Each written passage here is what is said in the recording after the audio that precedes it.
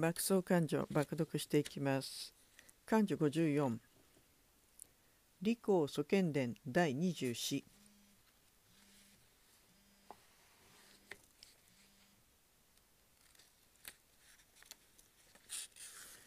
本殿は李光の孫李良と祖剣の子祖父の伝が付されている。ということで読んでいきます。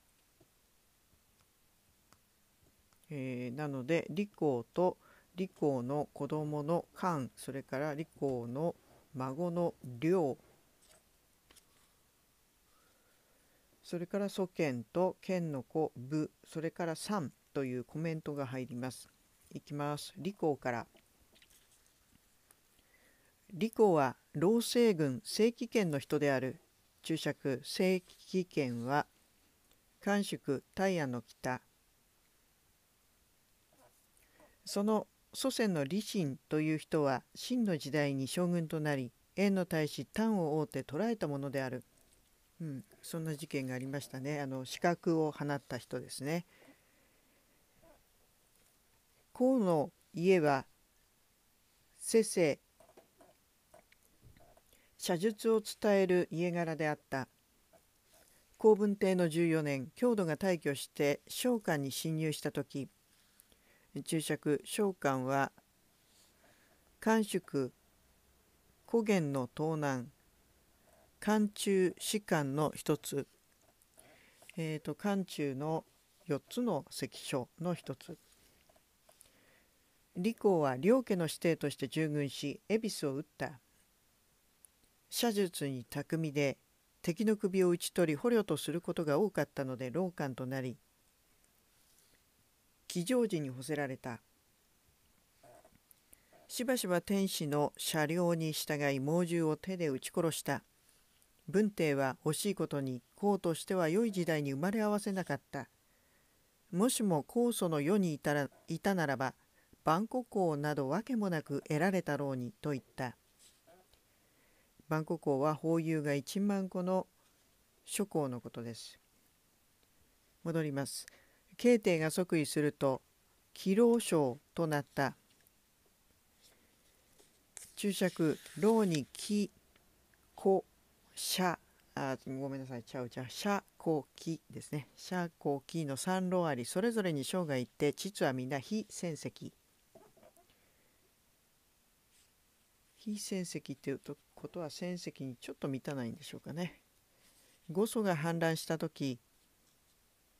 行基問いとなり対抗周、えー、対位周阿夫に従って、えーと、周没の息子です。周阿夫に従って章勇の城下で戦い巧妙を表したが注釈章勇は三島近郷の西北両王から将軍の印字を授けられたため帰還しても交渉されなかった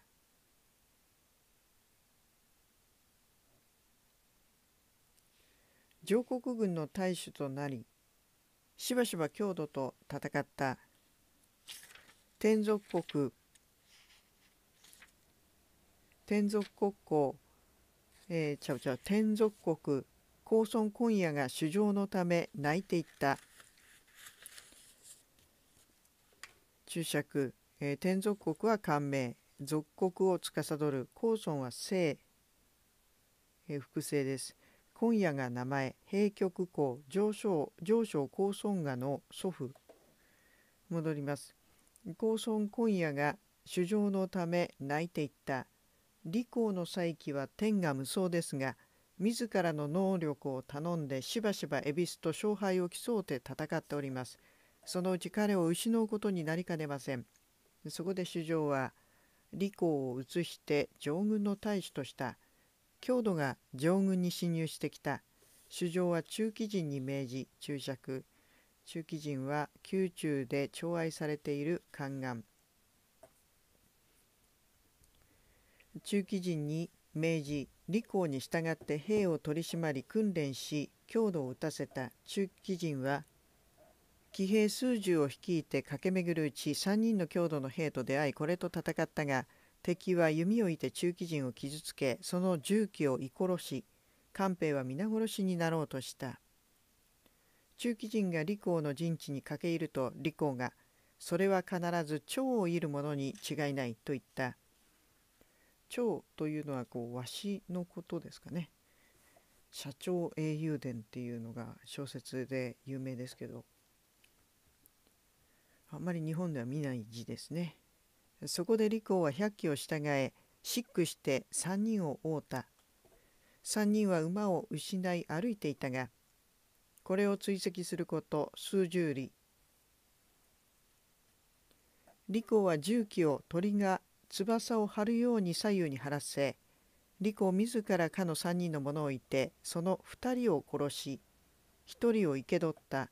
果たして郷土の蝶をいる者たちであった。これを縛り丘に登って見渡すと注釈式では馬に乗るに作る馬に登って、えー、どうでしょう。先に行きます。強度の数千機が望まれた。敵はリコーラを見ておとりの騎兵と思い驚いて丘に登り陣を敷いた。リコーの百機が皆大いに恐れ馳せて逃げ帰ろうとするのでリコは言った我らは漢の本体から数十里も離れている。今このような状況で逃げ出せば、強度に追い打ちされて我が方はたちまち全滅するだろう。今我らがここにとどまっていれば、強度は必ず我らを大軍のおとりだと思い、我らを撃つことはあるまい。李光は進めと命令し、強度の陣地の手前、2里ばかりの地点で止まり、えこの2里って、あの、日本の1里の10分の1ですから1キロないってことですね。1キロ弱すごいすごいあの近いですね。2里ばかりの地点で止まり皆海馬から降り蔵を解けと命じた騎兵らが恵比寿どもはあんなに大勢です蔵を解いてもし吸収されたらどうしましょう？というので李光はかの両どもはえー、トリコ、まあ、両ども、恵比寿ですね。恵比寿どもは、我らが逃げると思っているだろう。だから、今、蔵を解いて逃げないことを示し、それによって我らをおとりかと見る敵の推察を固めさすのだ。と答えた。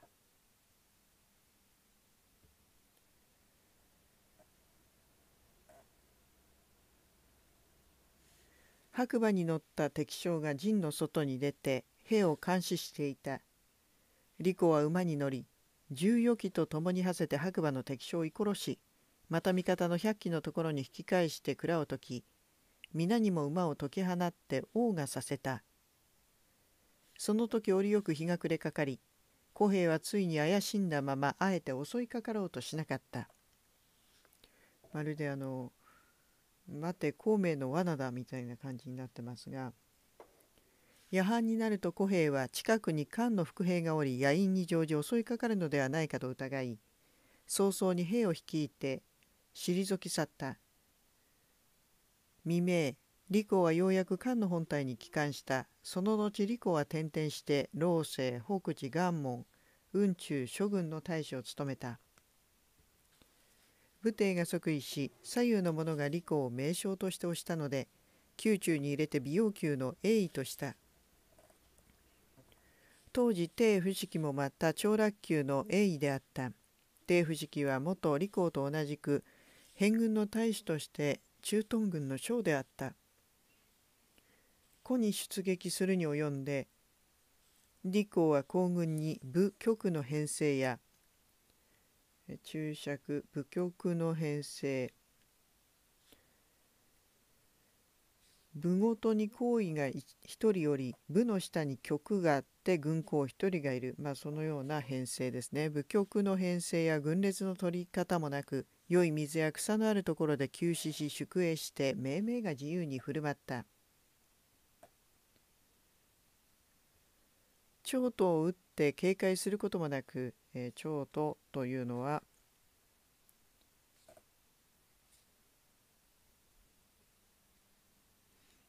同性の炊飯器昼は炊飯し夜はこれを打って経営に用いる戻ります。長刀を打って警戒することもなく将軍の幕府においても文書などを省略したがしかしまた石膏は遠方まで出したので勝って敵害を受けたことがなかった。これに引き換え帝不式は部局や大護宿営を正し長刀を打ち鳴らし軍理が文書帳簿を整理して世を明かすなど軍に自由気ままを許さなかった。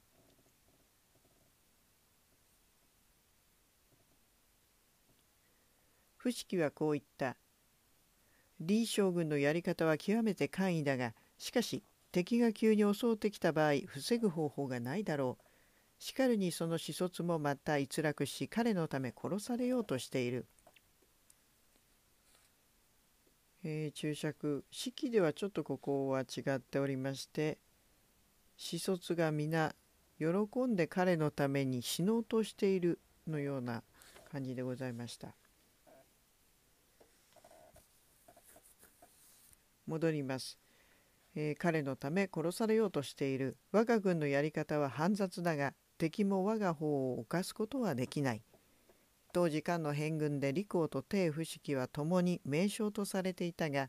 しかし郷土は李光を恐れ子卒も李光に従うことを喜ぶ者が多く帝不識を切ろうた。帝不識は後継帝の時しばしば直感したことにより対中大夫となり人柄が連直で規則や法令を慎んだ。その後漢は馬遊城を餌に善を誘い大軍を馬遊の近辺に伏せ李子は行基将軍として五軍将軍に所属した。これ先ほどの話とちょっとかぶってきますね。漢安国のところですね。善は漢の計略を悟って兵を引き上げたため漢の諸軍はいずれも軍港を立てることができなかった。その後4年李光は英尉として将軍となり元門軍から出て郷土を撃った。郷土の兵力が多く李光の軍を破って李光を生け捕りにした。善はかねて李光の懸命なことを聞いていたので李光を捕らえたなら必ず生かしたままで連れてこいと命じてあったのである。古希は李光を捕らえたがその時李光が負傷していたので2匹の馬の間にからげた台に王がさせ十里余りを行軍した。李光は偽って死んだふりをし傍らを盗み見ると子の子が一人両馬に乗っていた。恵比寿の子が一人両馬に乗っていた。矢庭に踊り上がって孤児の恵比寿の子の馬に乗り移り寄ってその子を突き落としあら子供子供かわいそう。馬に鞭打ってえっ、と南に馳せること数十里残存していた漢の部隊に取り付いた。ちょっとここ不思議なんですけどえーと、子供を抱えてよ寄って子供を抱えて馬を鞭打ちっていう風になってるんですけどそうするとですね広大って子供も連れ去ったような感じがしますがこの「方」を抱えるという字はあの放り投げるの方の方えっ、ー、と手辺に急に力って書くやつですね。それに通じると。式の場合は水水だ、えー、押して落とす水だ字。こう突き落とすというふうになっている。まあ突き落としたが正しいのではないかと思いますが続き郷土の追っ手が数百機で追跡したが李光は馳せながら孤児が持っていた弓で追記を射殺しようやく脱出することができたのである。こうして漢に帰ったが漢では李光を役人に引き渡しその罪を戦議させた。役人は李光が多くの部下を失い敵に生け捕られたことを罪し残罪に通すると判決したが李光は罪をあがのうて庶民となった。数年の間元の永院公と共に永院公は寛永の孫で名は今日罪により公を免ぜられた。元の永院公と共に永院公の、えー、元の永院公環境っていう人のと共に蘭殿の南の山中に陰性し車両をしていた。蘭殿は先生あるよ一騎を従えて出かけ人と野外で酒を飲んだ。木と亭まで来るとこの亭は宿場十里で一艇十艇で一卿邸に邸長がいた戻ります波領の意が酒に酔うて利口らを咎め通さないため注釈波領は波領邸という長安の東のその波領邸の役人盗賊を取り締まるのがお仕事続き利口らを咎め通さないため利口の重機が元の李将軍ですと言った。すると波領の意は現職の将軍でさえ夜歩きは許されない。まして退職の将軍がと言い李公を邸内に交流した。このことがあって後間もなく郷土が両西軍に侵入し大将を殺し漢将軍を破った。これは漢暗黒。漢将軍は後遊北兵軍に移り住んで死んだ。ありましたね。なんか最後死んだところまでなんかだんだん落ち目になってって本当気の毒でしたねあれね。でそこで主上は李光を召し出して遊北兵軍の大主に任じた。李光は創生して波領の意を伴い軍人に行ってこれを切りおおちゃんとあの報復するんですね、えー、上昇して自ら罪を陳謝した。主上はこれに答えていった。将軍なる者は国の守りである、えーと、僧がというのが、まあ、爪や牙なので守るというか攻撃するというか、まあ、守るんでしょうね。え国の守りである。芝法に言う。兵者に乗っては横手に手横木に手を当てず職ですね。職に手を当てず喪に王とも喪に服せず兵を整え軍を武して末路あぬ国を征伐す三軍の心を引き従え戦士の力を一つに合わす故に怒り現れ現れれば千里驚きすくみ意震えば万物ひれ伏す。ここをもって名声は恵比寿に現れ三つは隣国に動くと。注釈。えーとこの職に手を当てずというのは手を当てるっていうのが敬礼の意味なのでそれをしないと。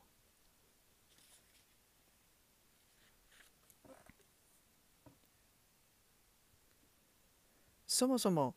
恨みに報い害を除き残賊を払い殺戮を去る。これが陳の将軍に計るところである。汝が冠を脱ぎ裸足になり地にぬかづいて罪を請うのはなんと陳の胸であろうか将軍よ。軍を率いて車を東に向け旗印を白丹県にとどめ白丹県は河北三雲の湖北港の東北戻りますえーと、旗印を白丹県にとどめもって遊北兵軍の恵比寿が値する清秋の季節に対処せよ。黄河返軍によれば郷土は彼を漢の非将軍と名付けてこれを避け数年は境外に侵入しなかった。ある時李光が漁に出た草原の中にあった石を虎と見間違え弓でいたところを命中して矢が石に没入した。よく見ると石であった。他日この石をいたがどうしても矢を射込むことができなかった。李光は認知の軍で虎がおると聞くと自ら出かけているのを常とした。遊北兵軍に赴任した時も虎をいたが虎は踊りかかって李光を傷つけた。しかも李光もまたその虎を射殺した。関賢が死ぬと主上は利子を召して代わりの老中令とした原作6年利子はまた将軍となり大将軍に従って定常軍から出撃した諸将のうちには敵を斬首捕虜とした数が法廷の標準にあたって劣行となったものが多かったが李光の軍にはそのような軍功がなかった。3年の後李子は老中令として4,000騎を率いて遊北兵軍を出白暴公長剣も一万騎を率い李公と共に生徒に着いたが別の道を取った。行くこと数百里で李公は郷土の左賢王の率いる4万騎に包囲された。李公の軍師は皆恐れた。よって李公はその子漢に命じて敵軍の中を駆け回らせることにした。李官は数十機を従え古希の真っ只中を突き抜けその左右にいでて軍に帰り李公に「捕虜など糸組みしやすいものです」と告げたので軍師らは初めて安心した。エンジンを作り外側に向かって構えたが古軍が急に襲い来て飛び来る矢は雨のよう。官兵の戦死した者が半ばを越え漢の矢も突き果てようとした。そこで孔は白らに弓を引き絞り満を持して放たぬよう命じ。李公自身は大王をもって敵の副将医数人を殺した。注釈大王もしくは大公ですかね、えー、態度を大石海のこと後見後官はどの名でその大なるものを大公という大公の方がいいですかね、うん、大公でもいいか。はい。えー、恵比寿はようやくひるんだ。たまたま日が暮れ軍理軍師は青ざめて生殖なかったが李公の息は平常に変わらず部下を整え励ました。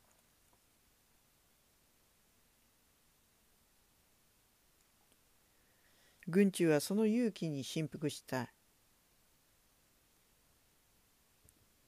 翌日再び力戦し白暴行の軍もまた到着した。かくて郷土の軍は囲みを解いて去ったが官軍は疲れて追撃する余力がなかった。この時の戦いで李光の軍はほとんど全滅に瀕し戦いをやめて帰った。漢の法律は白暴行が遅れて間に合わなかったことを死罪に通するとしたが彼は罪をあがのうて庶民となった。李光の軍は功罪匹敵するとして恩賞がなかった。はじめ李光は重帝李斎と共に老となり文帝に仕えた。慶帝の時李斎は功労を積んで二千隻に至った。武帝の原作年間傾斜将軍となり大将軍に従うて有権王を討ち、えー、右権王でいいですかね。功労があり法廷の標準にも当たったため報ぜられて安楽公と、えー、楽安公となった。元首2年高尊公に代わって上昇となった。李斎は人柄が下の中で家の中というのは、えーと、古今古今人票上中下9頭の中の第8頭戻ります。えー、李斎は人柄が下の中でその名声は李公に比べはるかに下にあった。しかし李公は爵位も法有も得られずその間は宮慶の一に過ぎなかった。李公の軍理や子卒たちの中には奉公になったものもあった。李公は暴気の王作というものと語っていった注釈暴気気を望むというのは運気を見て雲の木と書いて運気を望み見て人事の吉凶機運を占うことまたその人へ戻ります暴気の王作というものと語っていった漢が郷土征伐を始めてからこのわしはかって征伐に参加しないことがなかった。しかるにもろもろのおよそ行為以下で才能が常に常人にも及ばないのに軍港によって方向の地位を得た者が数十人いる。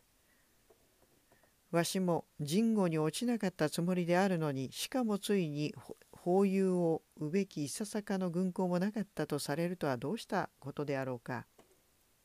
積寸の軍港積寸積寸の港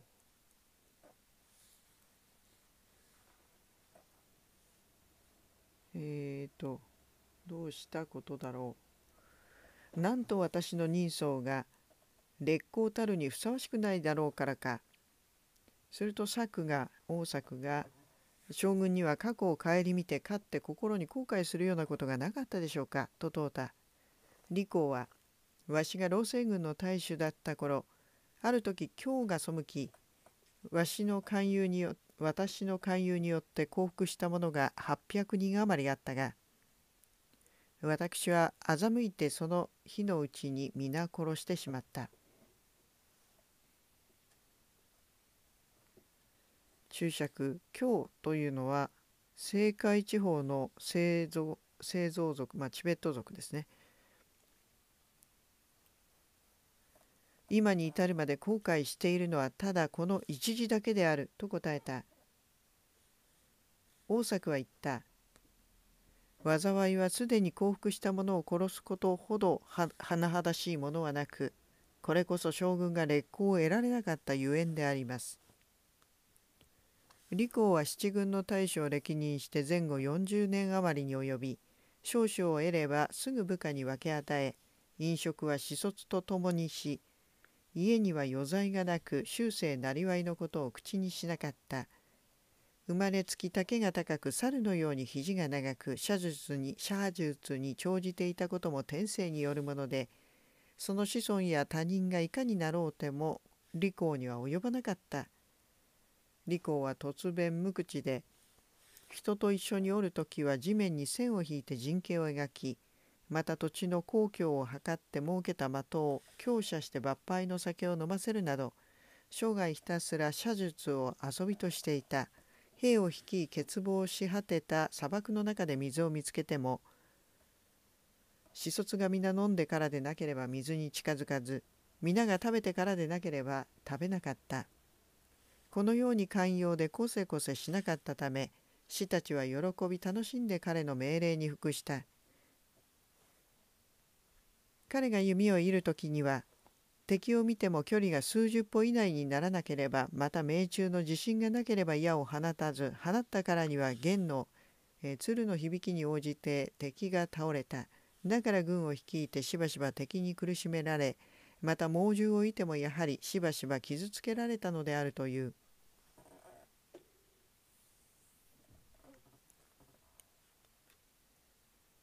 元首4年大将軍と表記将軍が大挙して強度を打つことになり李光は自分も出陣したいとしばしば蘇生した。首相は彼が老齢なので許可しなかったがその後しばらくしてようやくこれを許し前将軍とした。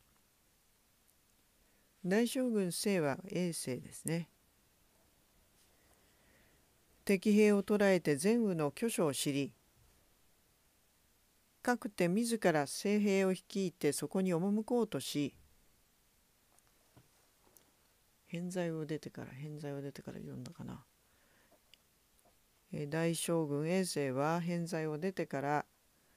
敵兵を捕らえて前雨の巨所を知りかくて自ら聖兵を率いてそこに赴こうとし李光には優将軍の部隊に右将軍の部隊に合流し注釈、えー、超壱岐という人。東の道を取るように命じた。東の道はやや迂回して遠く大軍が行くには水も草も乏しゅうて勢い屯営行軍に不便であった。李光は辞退していった。真の部署は前将軍としての部署であるはずなのに今大将軍は秦を移して東の道を取るように命令されました。のみならず秦は元服して以来強度と戦ってまいりましたが潔髪っていうのがまあ元服。くしてから今このひとたびこそは全雨に当たって戦いたいと存じます。どうか真を前衛として真っ先に命を投げ打ち全雨を召し取らせていただきたいのです。しかし大将軍は密かに主上から李光が数奇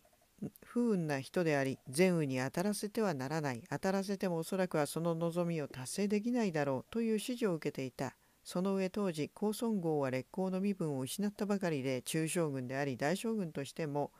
号の、えー、高孫号の救恩を思い彼と共に善雨に当たり彼に功を当て、えー、立てさせたかったので、えーと、ここの部分はこの高孫号という人は元この永世の大将軍の友人で永世は高孫号によって最悪を免れたことがあった。えー、ですのでちょっと恩返しをさせていいとちょっとえっ、ー、といいところを取らせてあげようと思った立て立てさせたかったわけですね。こうそのために李光の部署を移して東の道を取らせたのである。李光はその事情を知っていながら東の道を誇示した。大将軍は聞き入れず長子に命じ書簡をしたため封じて河の幕者へ届けさせ直ちに部署につき書簡の通りにせられよと申し送った。李光は大将軍に挨拶しないで出発した。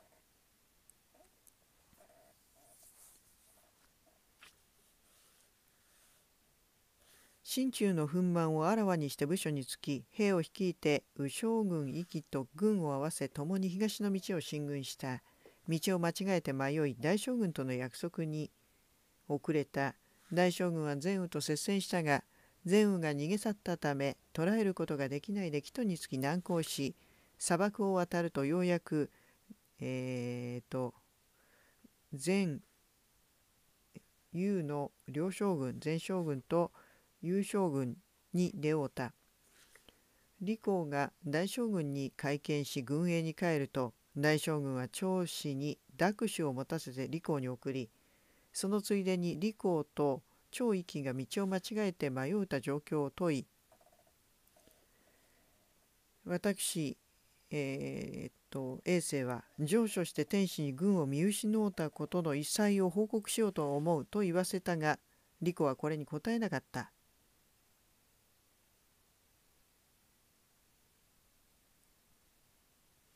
大将軍の長子は功をせき立てて李光の幕府に出向いて文書を提出させようとした。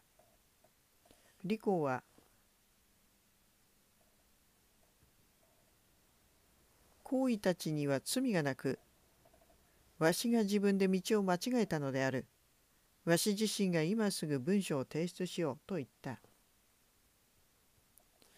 李光は自分の幕者に言って部下に言った。この李光は元服して以来郷土とは大小七十余戦を交えた。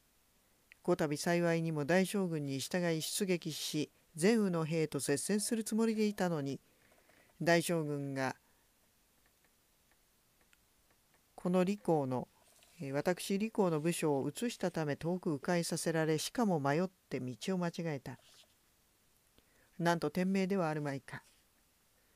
ともあれこの李光は年60余り今更糖質の俗理の取り調べに応ずることもできまい。注釈糖質の理というのは小刀や筆を用いて竹簡に記録すること。今だったら制服組とか背広組とかそうそんな感じですかね。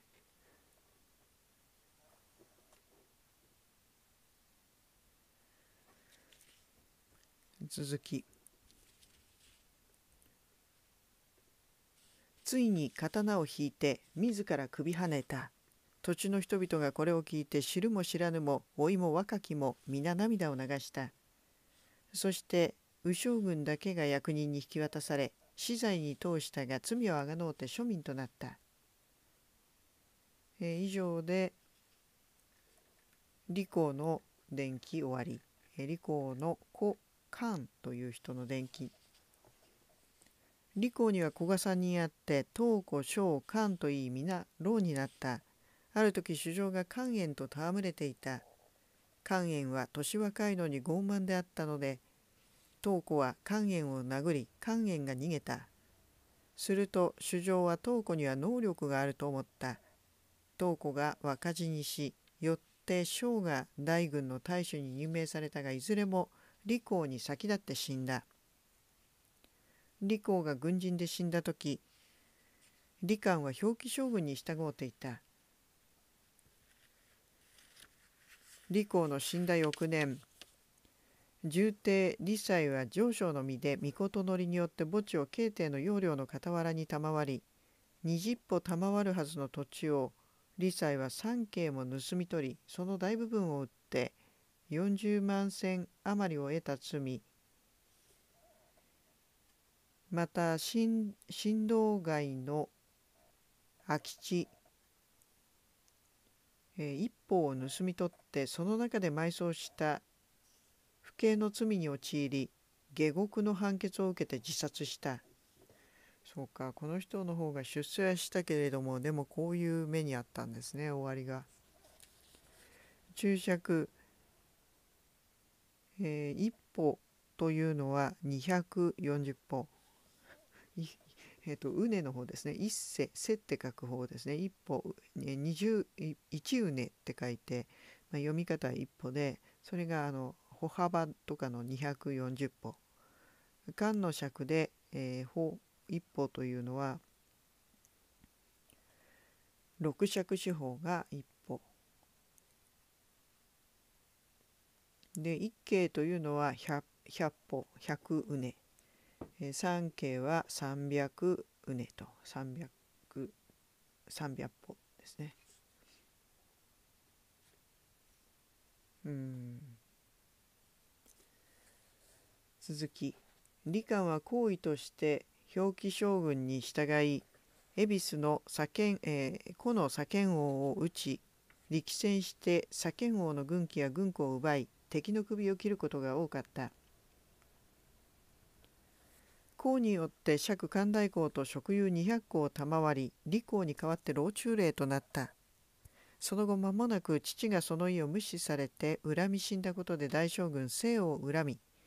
そこで大将軍を撃って傷つけた。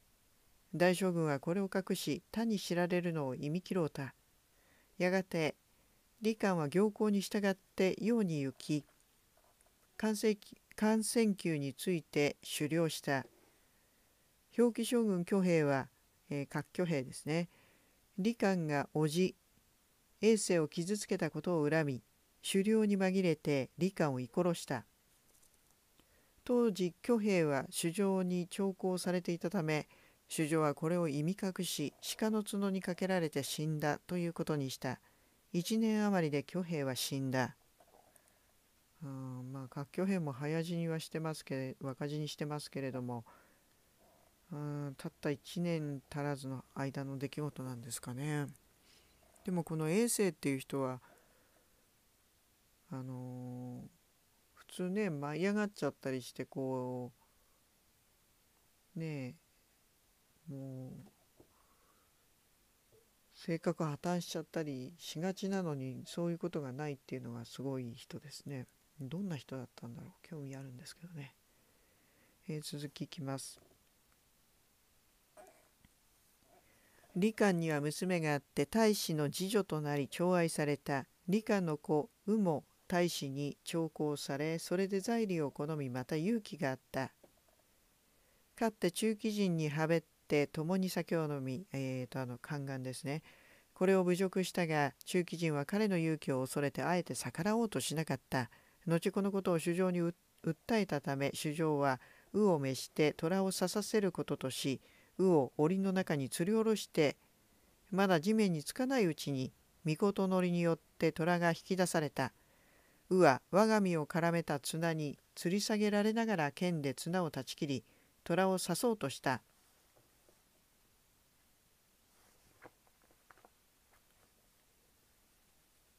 主上はその息をそうとしついに中止して救うたそして東湖に亮という忘れがたみの子がありえーとこの衣服の子っていうのがいわゆる李陵ですねお父さんが死んだ後に生まれちゃう人ですね。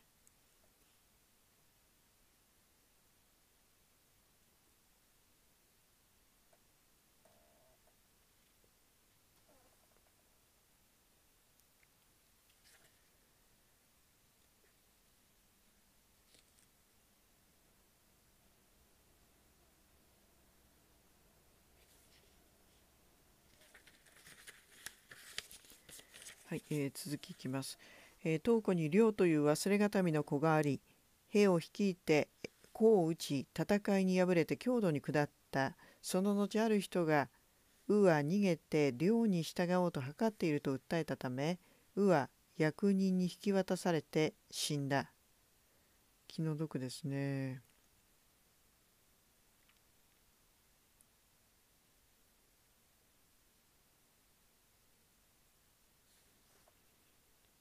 の人の一族はちょっとかわいそうですね。えさて、李光の孫の梁のお話。え梁はあざ名を正慶と言い、若くして自中兼検証級官となった。検証宮というのは漢の宮殿の名前でここを看護する官戻ります記者の術に長じ人を愛し健常で死にへりくだり甚だ評判が良かった武帝は彼に祖父公の風格があるとして800機を率いさせた。彼は郷土の地位深く2,000よりを入り巨炎城を過ぎて地形を視察したが注釈巨炎城は懲役軍巨炎県、えー、つまり甘粛省の西北境懲役の東北約 600km 福波将軍露白徳が築いたところ戻ります。巨炎城を過ぎて地形を視察したが古領に恵比寿に出会わないまま帰還した。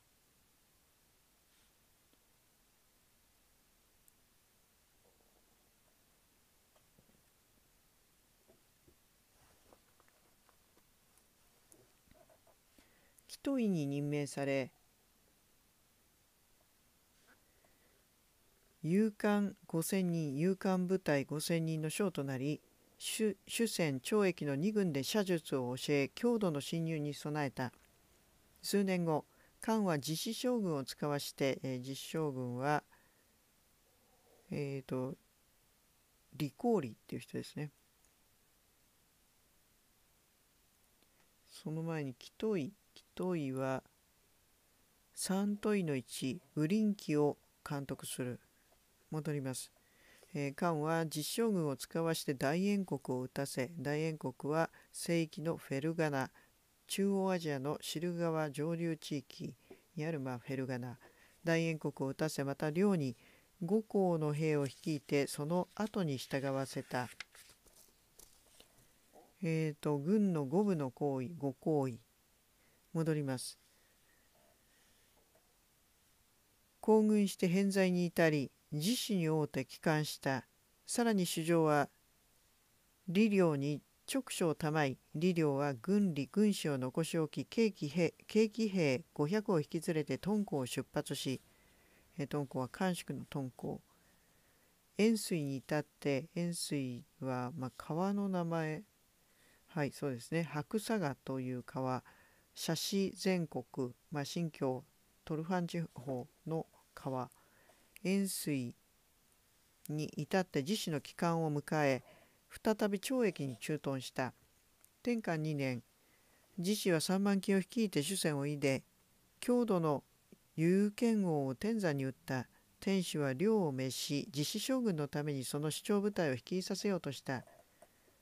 領は召されて武大殿で謁見し高騰して自ら皇帝行った。真の率いる辺境駐屯軍の兵はいずれも、えー、計祖の有志や記載見学ばかりでその力は虎をもひしぎいれば必ず命中します。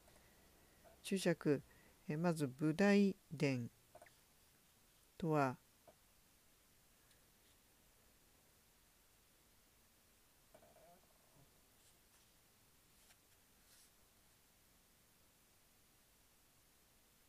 えーと、美容宮内の殿の名前。それから慶と祖の慶っていうのは古の九州の中国の九州の一つで春秋戦国の時代でいうと祖の領域。湖北湖南一帯の地。戻ります。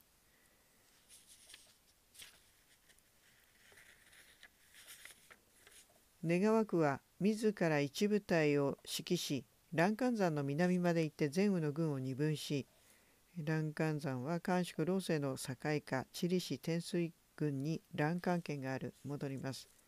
それを自治将軍の軍に集中させないようにいたしたいと存じます。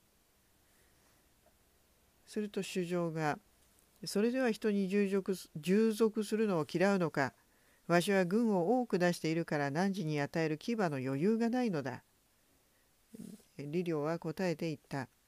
牙は用いなくても構いません。真の願うところは貨幣を持って周平を打ち歩兵5,000人をもって全羽の都に、え庭に庭全羽の庭に深く入ることです。主上はその志をそうとしてこれを許可したよって共同問い露白徳に御事乗りし兵を率い途中でリリオの軍を迎えるよう命じた。白徳は元の副派将軍で彼もまた李陵の後衛となることを恥じ今や秋で郷土の馬が肥えておりますゆえまだこれと戦うべき季節ではありません。真の願いは李陵をここにとどめ春になったら共に主戦懲役の騎兵それぞれ5,000を率い並んで東西の春慶山を打つことにいたしたく注釈春慶山は外蒙古のカルカ虎川とオルコン川の間にあるこの後あの巨園から北高30里という記述も出てまいりますが先に行きます。さすれば必ずや敵を虜にできると存じますと上書した。この書が奏上されると主上は怒り李陵が後悔して出撃したくなくなって白徳に上書させたのであろうと疑うた。そこで白徳に御事のりを下しわしは李陵に牙を与えようと思っておったのに李陵は貨幣を持って周辺を打ちたいと言ったのだ。今や恵比寿は青河軍に侵入してきた。注釈青河軍はオルドス地方それ兵を率いて青河に赴き敵の後衛への道を遮れと命じ注釈後衛後衛というのが地名ですね。この来る妖怪の道。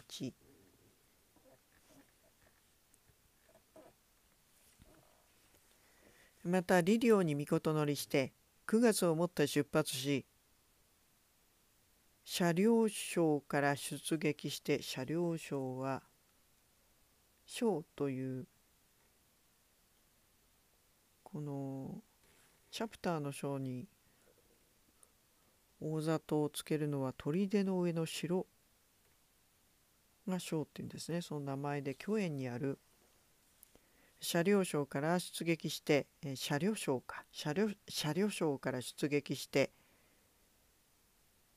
東の春慶山の南両六水のほとりに至りその辺りを徘徊して恵比寿を偵察しもし何ら所見がなければ昨夜港長波道の鼓動よりえー、これは郷土伝、まあ、見ましょうということなんでその時までちょっとお預け、えー、受工場に至って兵士を休ませ駅伝の馬によって報告せよ。汝が露白徳と相談した事柄は一体何たることだ。つぶさに書簡を持って答えよ。と言った。李陵はそこで歩兵5,000人を率いて京園を出発し北行すること30日で春慶山に到着しそこに宿営し通過してきた参戦の地形を皆図に移し取り部下の騎兵陳宝楽に命じ帰還して天使に報告させた。宝楽は召見され李陵は統率よろしきを得て視卒に視力を尽く視力を尽くさせることができるよしを言上したので主上は甚だ喜び宝楽を牢に任じた。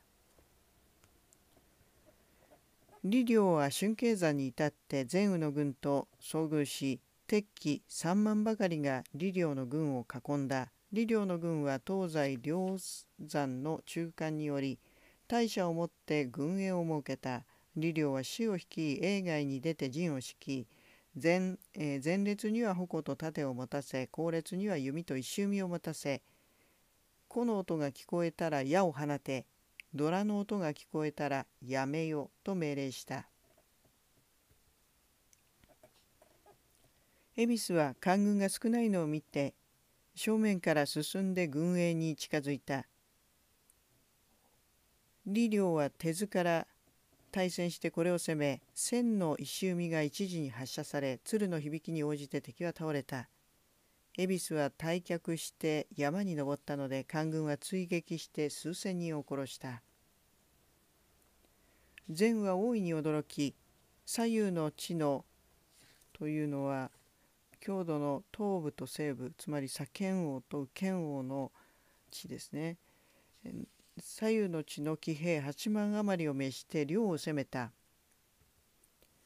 領は戦ったり退いたりしながら難航すること数日で三国の間に至った。連戦し矢に当たり傷ついた子卒のうち3箇所負傷している者はこれを手車に乗せ2箇所の者は兵舎を引くのを手伝い1箇所の者は武器を取って戦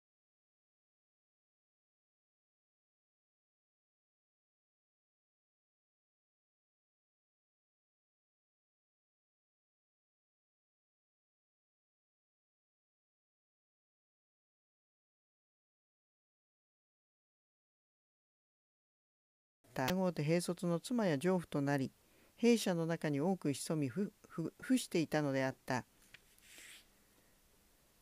李陵は女どもを探し出し剣で皆切った。その翌日また戦って敵の首三千余球を切った。兵を率いて東南港し元の龍城の道に従うて行軍し四五日で大きな小宅の足原の中に踏み入った。両は恵比寿は風上から火を放ったが李陵もまた軍中に命じ迎え火を撃って、えー、迎え火を放って炎症を防いで自ら救うた。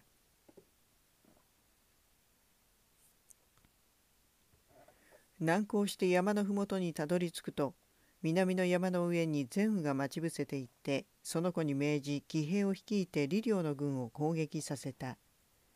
李陵の軍は徒歩で樹林の間に行って戦いまた数千人を殺しさらに連動を放って善をいると善は山を下って逃げた。注釈連動というのは30の剣、えー、剣はあの拳の剣の手の部分が弓になってるやつですね。意味は石弓でこの剣を一匹つまり一本の石弓の絵で発射する度。そういう連射装置のあるやつなんですかね。善は山を下って逃げた。この日捕らえた敵の捕虜が言った。善がこの漢の精兵はいかに撃っても降参させられず、こうして日夜我が軍を南へ誘い偏在に近づけておるが、もしかして伏兵があるのではなかろうか。というと、東湖や村長たちは皆、注釈この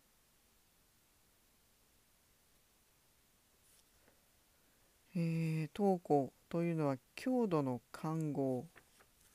あそうですね。そんな名前だった。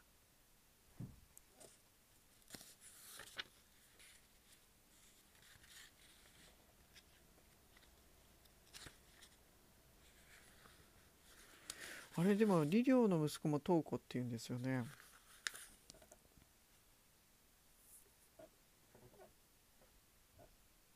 はいえーと東湖や州長たちは皆全雨ご自身が数万騎を率い漢の数千人をお討ちになってこれを滅ぼせないとあっては今後再び辺境の真を使うによしなく漢にますます強度を侮らせることになります。引き続きまた三国の間で力戦しあと四五十里で平地に出ますがなお破ることができなかったらその時は引き返しましょうと言いました。この時李陵の軍はますます引き締まり強度は騎兵が多く合戦は一日数十号に及んでまた敵領2,000人余りを殺傷した。領は、えー、恵比寿は不利と見て退却しようとしていた。たまたま李陵の軍港カンカンが行為に侮辱されたことから注釈軍港というのは軍に部局があり部に行為部の下の極に軍港がいた。戻ります。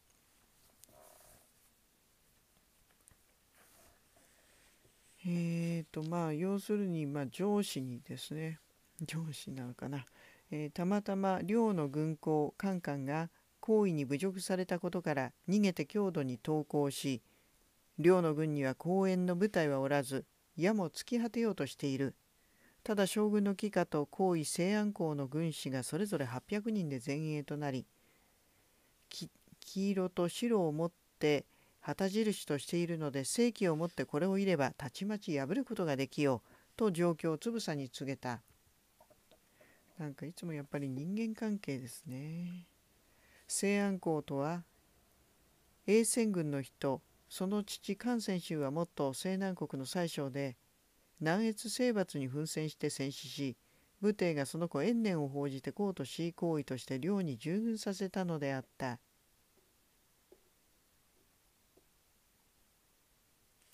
善は、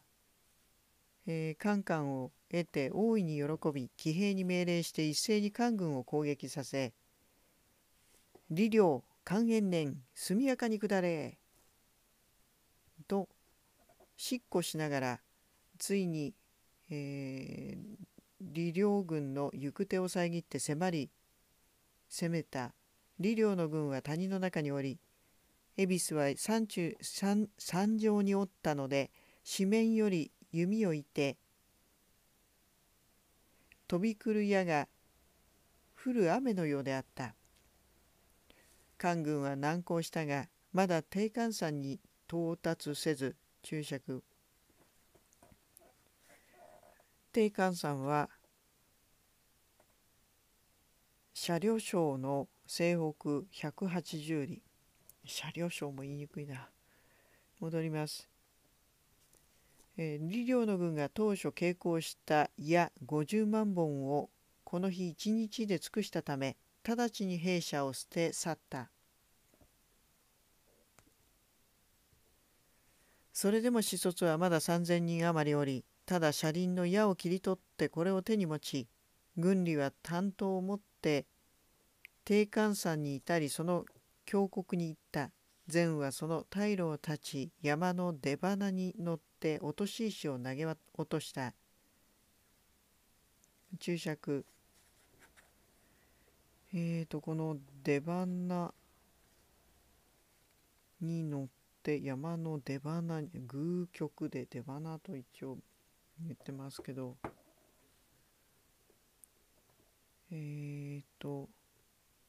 落とし石累積というのは城の上の落とし石敵を防ぐもの臨石に同じ臨少女の臨一節に石を落として累壁のように積み重ねここを谷口ここを立つとしている。戻ります。そのため始卒の支障が多く南に進みかねた。日が暮れてから李陵は便意に着替え便意というのは短くて袖を狭くした便利な衣服なんか便宜兵とか言いますけどあれとは違うんですね。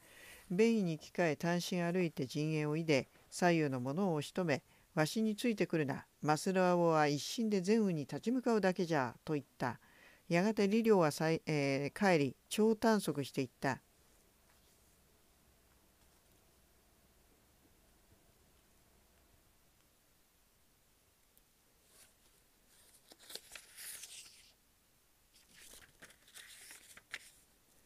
戦は負けてしまった。死の。う軍理の一人が言った。将軍の威力は強度を侵害させましたが天の運にかなわなかっただけです。今は降伏して後日感動を求めてまっすぐ漢に帰還なさることです。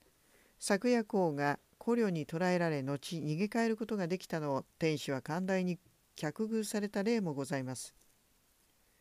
まして将軍ならなおさらのことではないでしょうか。すると李陵は「君もう何も言うな。わしは死ななくては宗師ではないのだ」と言いそこでことごとく旗差し物を切り捨てまた沈宝を地中に埋めた。李陵は探索し今一度皆に数十本ずつの数十本ずつの矢さえあれば抜け出せるのだが今やもう戦おうにも矢矛さえない。夜が明ければいながらに縄目を受けることになろう。それぞれ鳥けだもののように散らばればあるいは逃れ帰って天使に報告することのできるものもあろう」と言った。軍の使卒にそれぞれ星米2升と氷一辺を持たせこの氷っていうのは何ですか？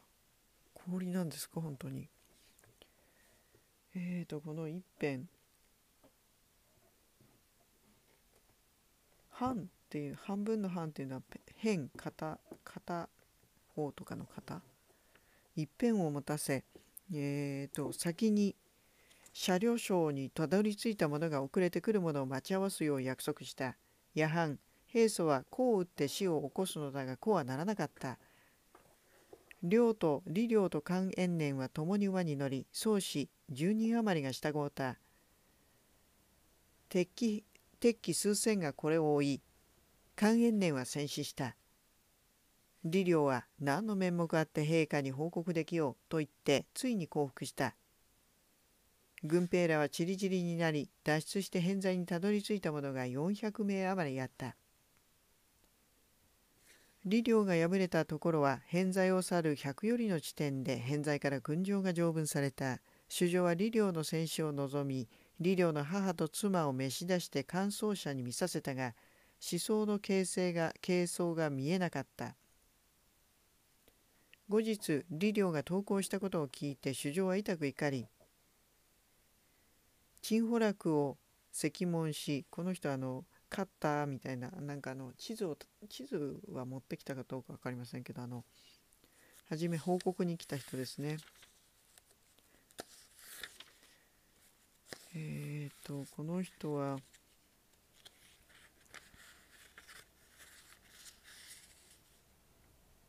そうですね報告に来たけどその写し取った地図はまあ持ってきたんでしょうかね。えー、それで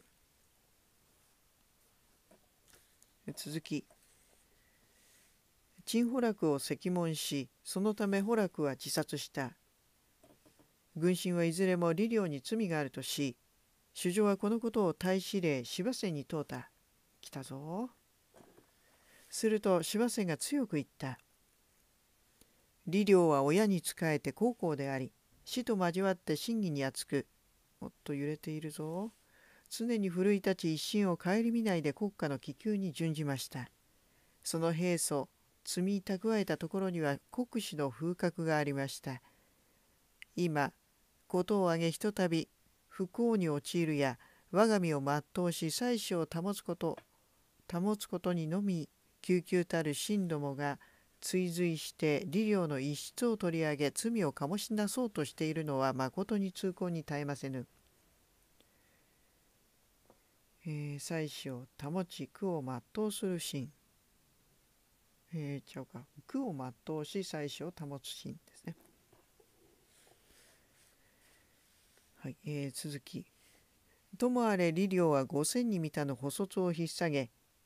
兵馬の地深く踏み入って数万の敵軍を抑え恵比寿どもは瀕死を救い負傷を助けるいとまもあらず弓引く民のごとくを投入して共に李領を攻め囲みました李領の軍は天戦千里や月道極まり始卒は空剣を張り白人を犯し北に向こうて争うて敵と死闘いたしました。空剣を張りこの剣先ほども出てきましたけど拳の剣の手が弓になってるやつですね。面白い字ですけど。えっ、ー、とこちらは普通に拳になってますね。えっ、ー、とスクリーンスクリーンテキストはね。でもこう弓の話ですよね。要するに史跡の尽きた石海先ほどの石海の話ですね。人の視力を尽くさせた尽く尽くさせ得たことでは古来の名称といえどもこれに優るものではありません。その身は陥り破れたとはいえしかしその敵をくじき破ったこともまた天下に検証するに足るものであります。彼が死ななかったのも何らかの仁義を得て罪を償い官に報いようと期してのことに相違ありませぬ。そもそも主上は自治将軍の大軍を派遣した当初ただ李陵をその援軍にしようとしたに過ぎなかったのに李陵が前雨と遭遇するに及んで自治将軍の先行が乏しかった主上は芝仙が武毛を言い自死の功を阻もうとして李陵のために弁じたのであると思い李陵に不敬を下した。なんということだ。まあ、この不敬というのが休憩でございます。はい。続きその後やがて主上は李陵に救援の軍を与えなかったことを後悔し李陵が偏在を出発する時にあたって初めて共同都尉に御事乗りして李陵の軍を途中まで迎えるよう命じなくてはならなかったのに李陵の出陣する前になんとなくあらかじめ御事乗りして後で露白徳を別途聖画に出したため老将に不正をさせる隙を与えてしまったと言いそこで死者を使わし敵地から脱出できた李陵の残兵をねぎらい称子した。注釈郷土問いというのは露白徳のこと。それから不正をさせるという老将に不正をさせるこの老将というのが露白徳。不正とは露白徳が李陵の公営になることを嫌って上奏しそのため、えー、露白徳は清河軍に出征し結果として李陵に援軍が与えられなかったことを言う。戻ります。李陵が郷土の地にいて1年余りで主上は陰雨将軍高孫号に命じ兵を率いて深く郷土の地に入り領を迎えにやったが郷の軍はうなく帰還して捕まえた捕虜が郷土は全軍に戦術を授けて官軍に備えていると申しました。それゆえ真は得るところがなかったのでありますと報告した。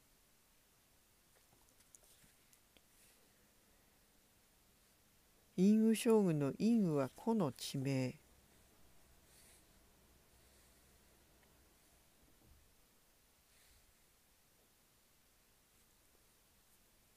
なんか今さらっと惰性で読んでしまった、大事なところなのに、えー、これですね。捕まえた捕虜が李陵は全雨に戦術を授けて官軍に備えさせていると申しました。それゆえ秦は得るところがなかったのでありますと報告をした。主上はこれを聞くと李陵の家を一族もろとも滅ぼし母弟妻子らが皆宙に服した。李氏の出身地老西軍の死体浦は李氏が摂議に死ぬことのできなかったことを恥じた。その後漢が死者を郷土に使わしており李陵はその死者に言った。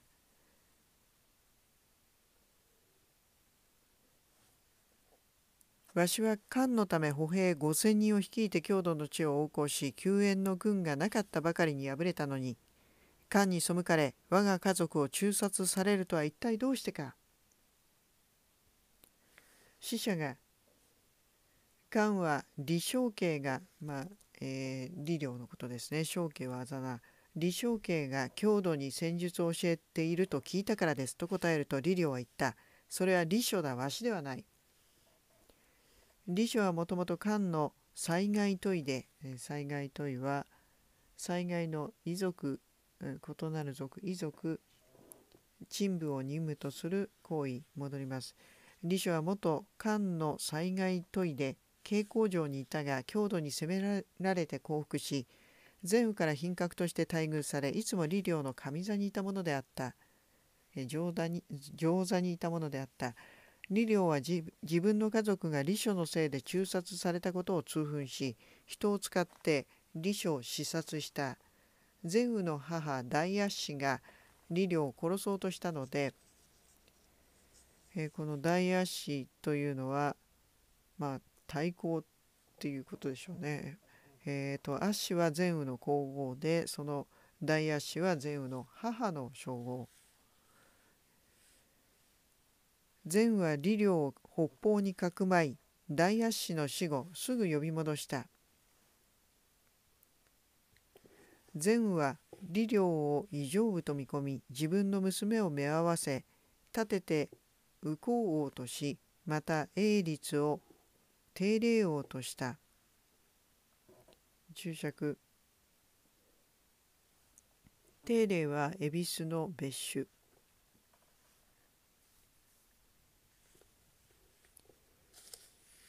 いずれも尊ばれて政治に当たった英律という人物はその父が元長水にいた個人であって律は肝心として成長し強律といい李延年と信仰があり延年の推薦によって郷土へ仕えした。李延年は李夫人の兄弟の人ですかね。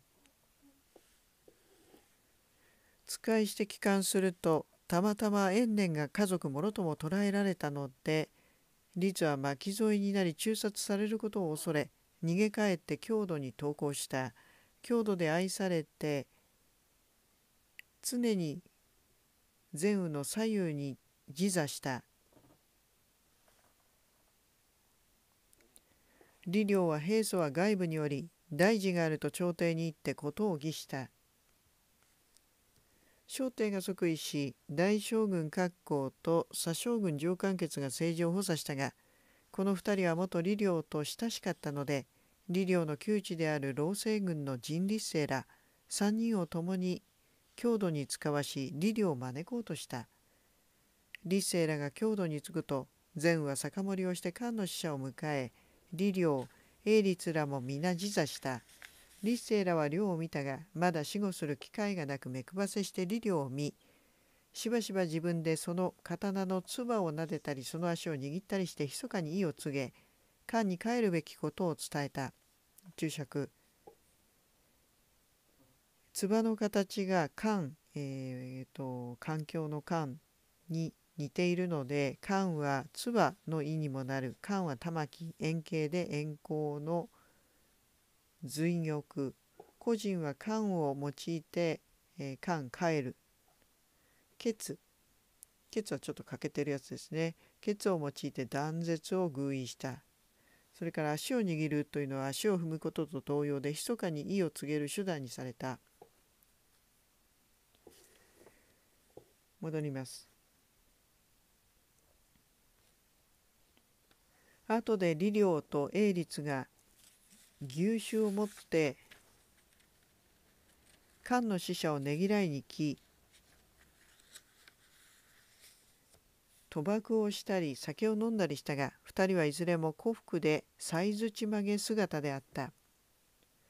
立政は体現して漢はすでに大社を行い中国は安楽で主情は春秋に止まれ各種も上官、えー、小宿が養路に立っておりますと言いこの言葉で李陵の寄進を帰る心を揺さぶろうとした注釈。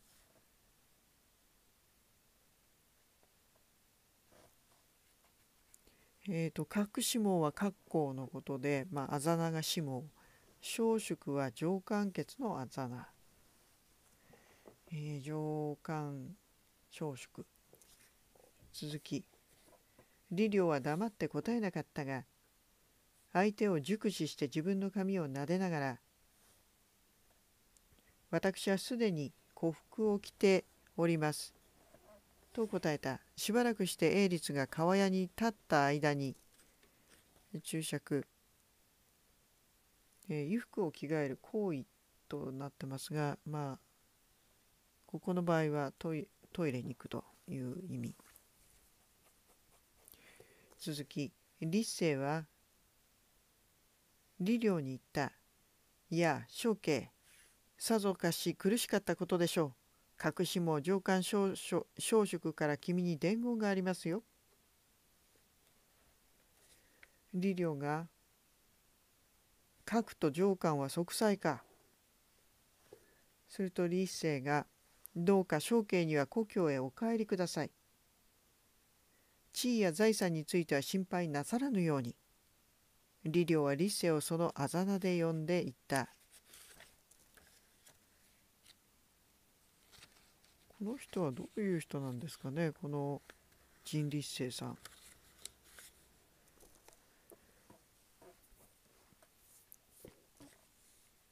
将校よ。帰ることはたやすい。だがおそらくまた恥ずかしめられるだろう。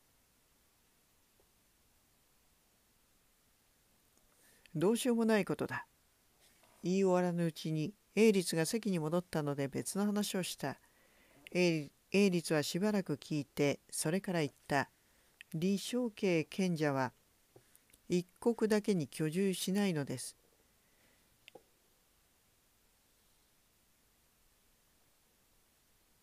えーと、ここちょっと難しいですね。どちらとも読めると思うんですけれども、李承慶は賢者だから一人一国だけに居住しないのです。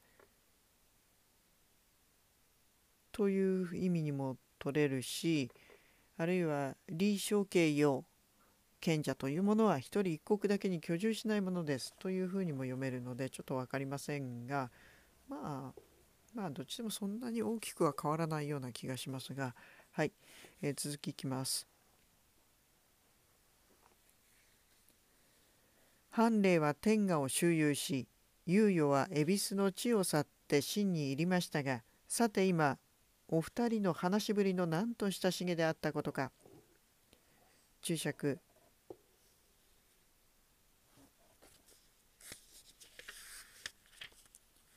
猶予という人は春秋時代の真の人逃げて恵比寿にいる。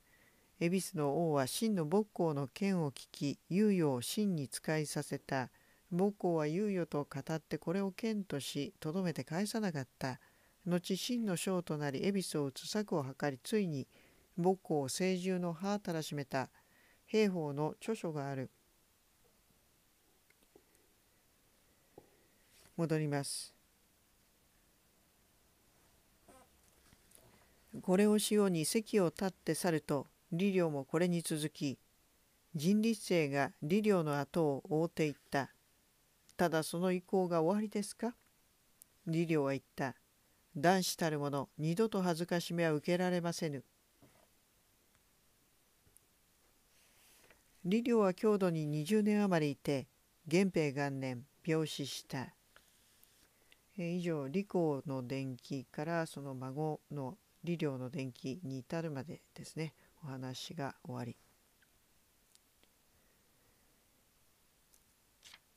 次は祖権の電気祖権と祖父の電気なので一回休憩入れます。また後ほど。